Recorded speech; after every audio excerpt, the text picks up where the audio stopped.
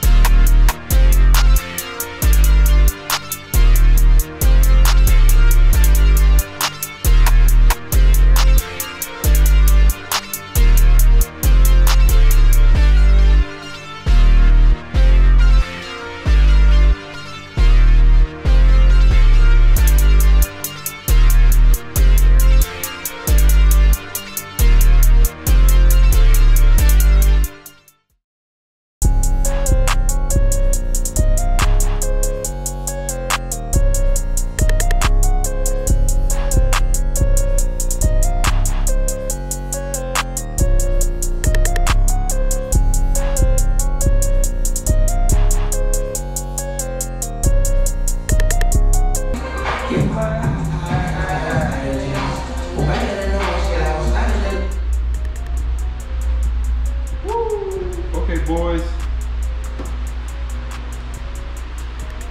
So I hope y'all can hear me good. I'm standing on the GoPro right now, but uh, yeah, we got pretty much everything on except the header and oil now.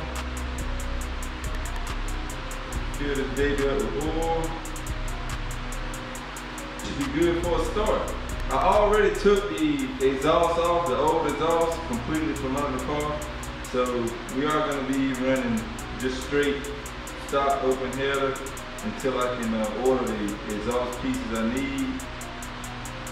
But uh, so the battery has been on this charger now for about two days and I'm pretty sure it's been ready, but I just left it on just, just to make sure that it, it was good. But um, you can see it's at 100% now uh, on a 12 volt normal circuit. And before I had actually jumped this car to get it in here. So this is gonna really let us know that it charged it up or is this some BS. So um, again, I, I, left a link in the last video. I'll leave a link in this description if you're interested in the Tornado. Um, they also have a Tornado 1200, I believe. And bro, like this, this one is only like 40 some bucks for a battery charger. So you can't really beat that. And I mean, it's not like a, it's not like one of those uh, ones you would get from like Lowe's or something or, or, um, or like AutoZone, like the bigger one. It's more like a trickle charger, but like you get this thing overnight and it'll charge your battery right up. And that's, that's really pretty damn cool for 40 bucks. But yeah, let's go ahead and get this battery in and then I gotta install the header and we should be good for a first start.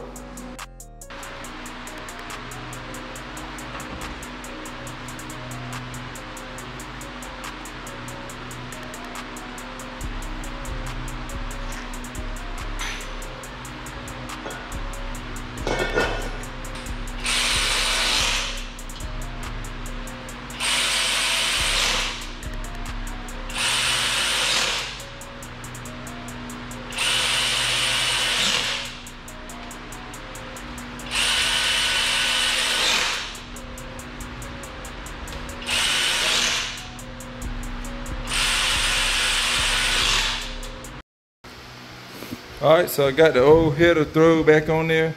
I can't find what I did with the oxygen sensor, so it is a hole here, and I know we're gonna have a check engine light for that.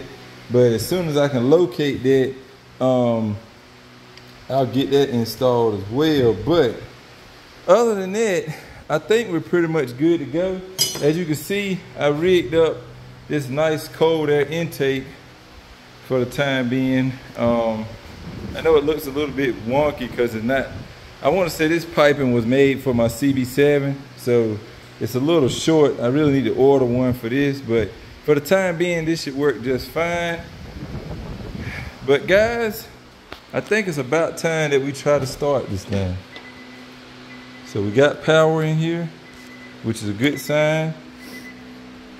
Still don't want to sit in here, but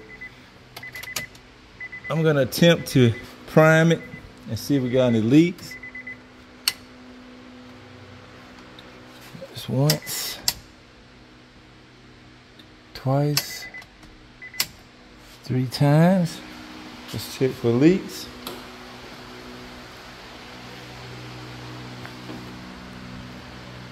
Everything looks dry. So far so good. So now we're gonna give it a start.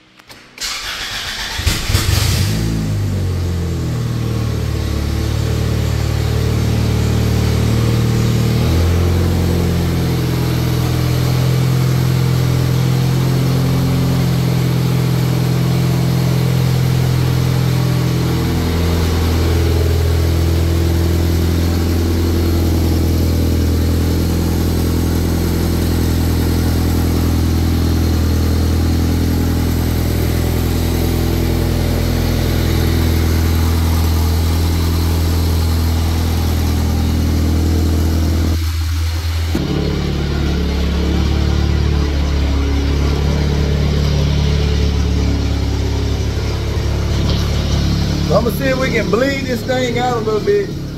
And uh, while I do that, I guess I'll go ahead and throw the wheels on and try to get the front end back on the ground. And uh, hopefully we can take it for a drive. I got y'all rigged up on the GoPro. I got, you'll see a cord kinda in the way, but I got it on my jump pack because the GoPro has died. Um, I don't seem to have any clutch pedal. She up a little bit.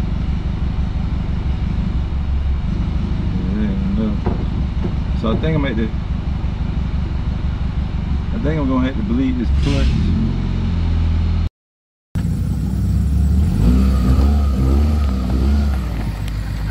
clutch.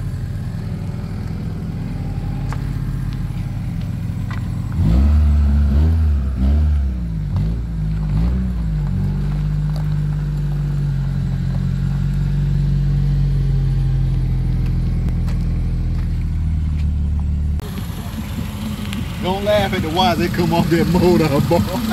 Look, I'm gonna take the wires off that, that the motor I took out of DJ car and put on mine cause I don't want them red wires. can you see the spark? See, you can see it a little bit better at night, man.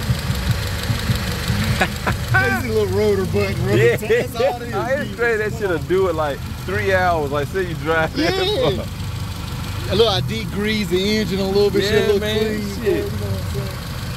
That damn purple shit, man, that, that shit like you use. Yeah, I just man, that shit's the whole strong, thing, boy. They ain't get them wheels off, though. Before.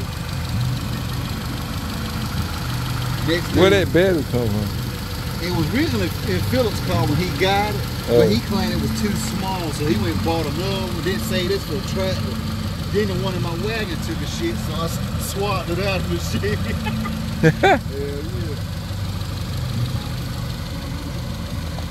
All right, guys. So as you saw from the last clips, Jeff just left, and we actually got this thing working um, without having to get a clutch cable. I thought I was going to to get a clutch cable, guys. Uh, we actually was able to tighten these fittings up and get them to stop leaking. Both this one here and the one at the bottom.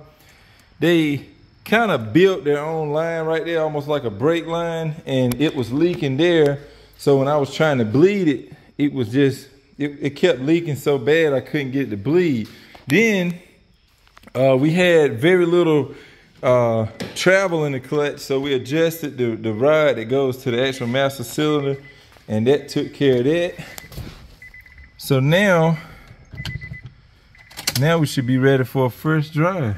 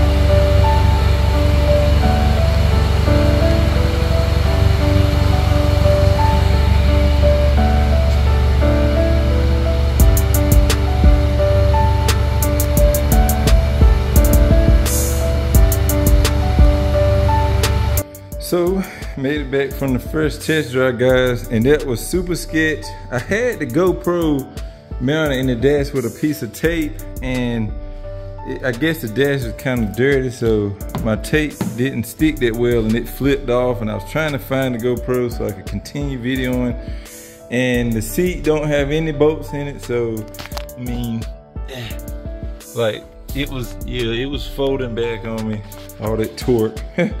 but yeah, first drive went pretty damn good.